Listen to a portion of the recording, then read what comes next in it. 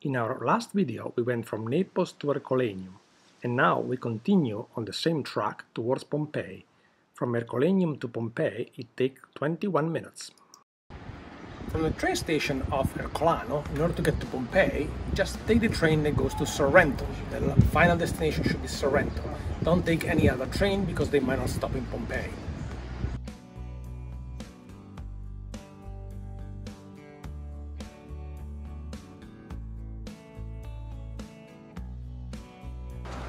20 minutes after. We are at Pompeii Scavi, Villa dei Misteri train station to go visit Pompeii. Here we are, folks, in front of the entrance for Pompeii. We bought the skip the line tickets online. Seems that today was not necessary, but you never know. Maybe if the tourism is gonna pick up again, you probably get to skip the line.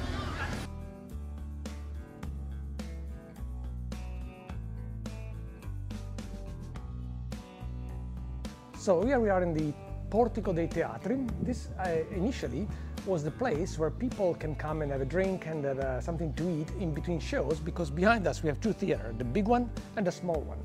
After a big earthquake in, 60, in the year 66 after Christ, um, this was severely damaged and when they rebuilt it, it became like a place for gladiator to um, train before the show.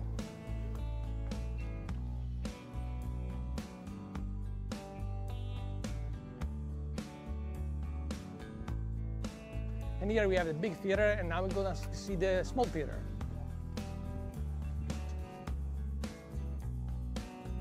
So this is the small theater. The shape of the theater is interesting because it had two functions. One, to, to allow everybody to see what was going on on the stage, and second, the acoustic. So even today, if you go in the middle of the theater and you clap your hand, everybody can hear you.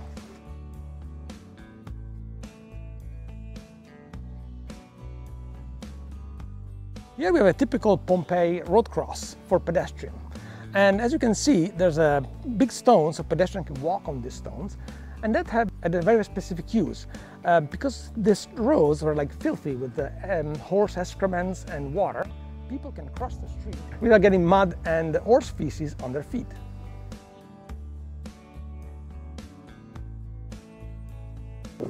Well, folks, you might wonder what that red uh, writing is over there on the wall.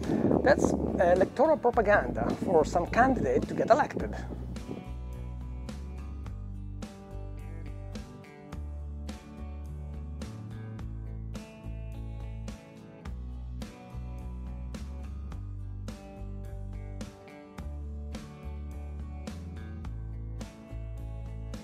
Here you can see that Pompeii as well was built on top of an older city and here are the ruins of what was be, um, below Pompeii and was pre-Roman.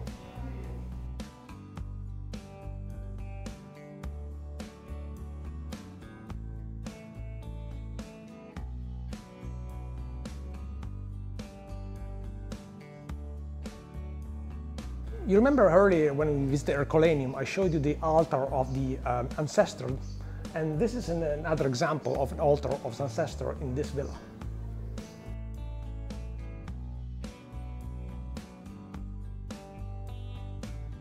And clearly this uh, owner of this house was quite wealthy because he had his own private bath.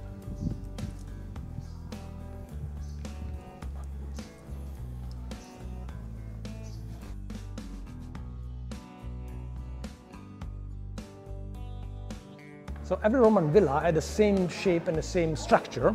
This is the main entrance, and here was the area to collect the um, rainwater. The rainwater was going down that little pipe in the well over there for the um, for time when there was not enough water.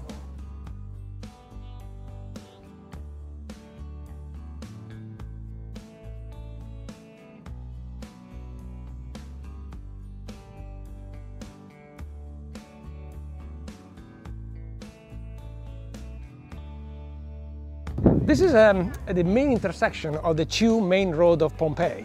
This one is Via Stabiana, which was going north to south, and this one, east-west, was Via dell'Abbondanza. So these are the two main roads, the equivalent of uh, the modern main street of any North American city.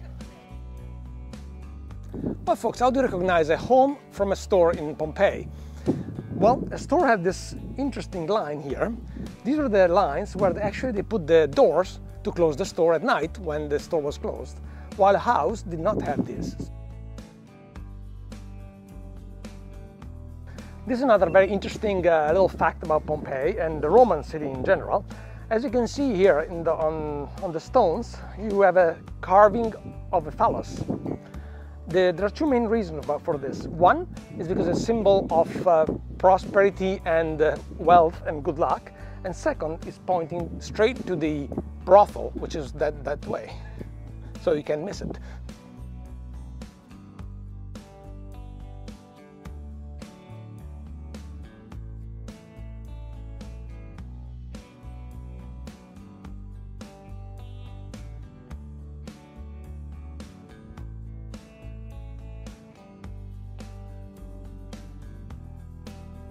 Well, folks, we reached the forum. This, this was the political and religious center of Pompeii.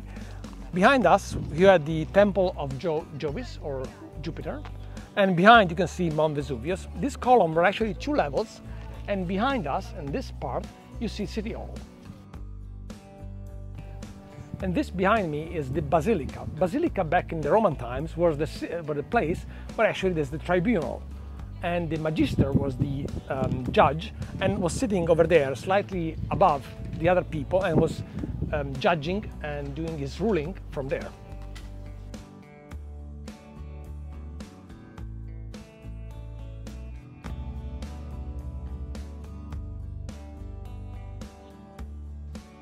Here you can see some official measure for grains and liquids.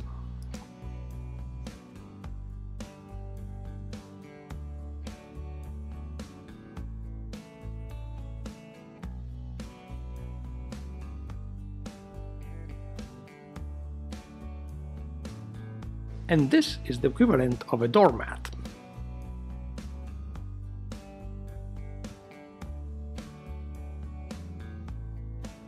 And here you can recognize a restaurant from our previous video about Ercolaneum.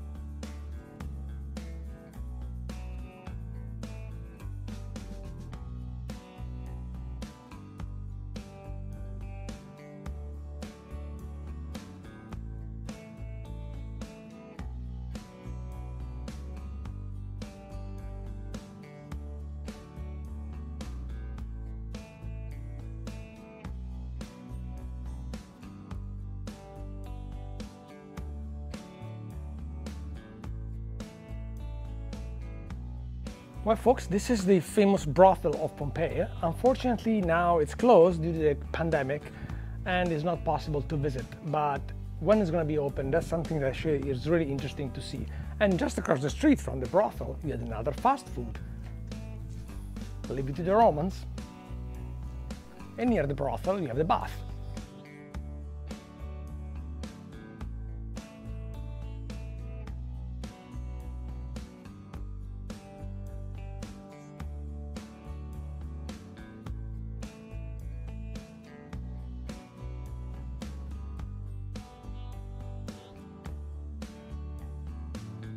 And here is more political propaganda.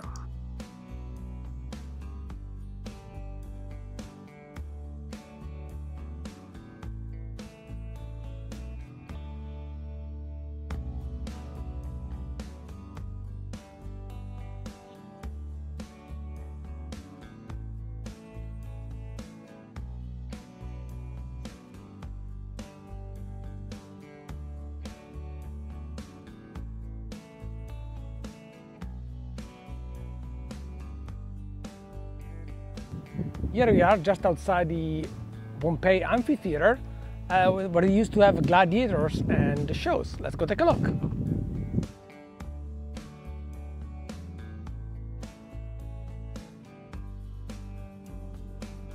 Here we are inside the Roman amphitheater of Pompeii. Here used to be like where they used to have fights between gladiators. Gladiators were like special slaves that used to fight each other and sometimes are very, very cruel, and they end up with the death of one of the gladiators. Um, the amphitheater is pretty big, as you can see, and they used to have like seats all over, all the way up. And most of the time, this amphitheater used to have a special canopy that was used to have a shade over the spectator here in the tribunes.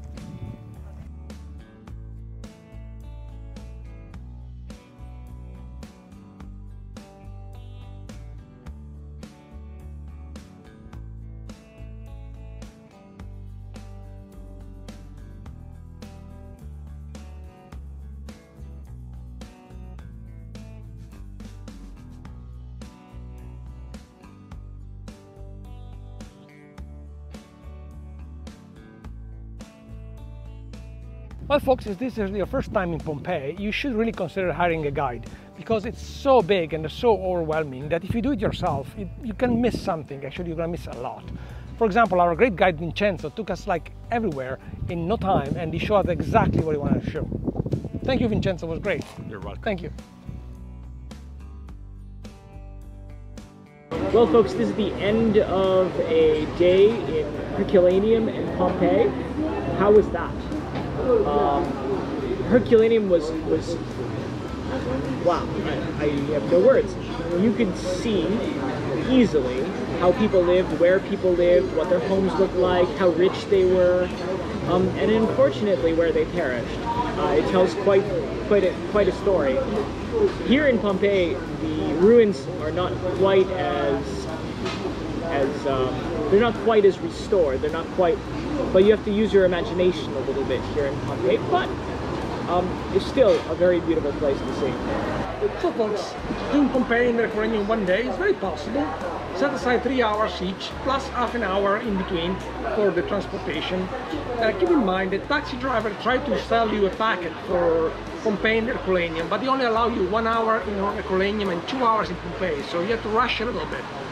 If you decide to do that, uh, be sure to buy the ticket in advance because buying the ticket sometimes takes a long time because the line at the ticket office is quite long.